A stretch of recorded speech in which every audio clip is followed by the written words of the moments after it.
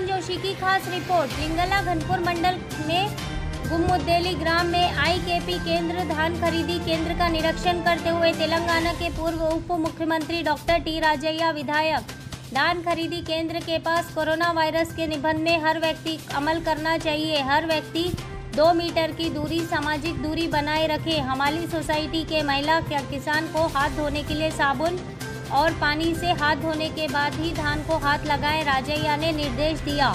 महिलाओं को प्रवासी मजदूरों हमाली कर्मचारियों को मास्क का वितरण किया विधायक डॉक्टर टी राजैया। के साथ Shrimati C H Jayashree MPP Nagendra मंडल अध्यक्ष Shri Sailam PACS chairman R Upendra PSCCN chairman Boyina Raju Shri Chetla Upendra Reddy Eddala Raju Yadagiri Shrimati Lakshmi मंडल नायक रवि ग्राम नायक सरकारी अधिकारी और अन्य ने भाग लिया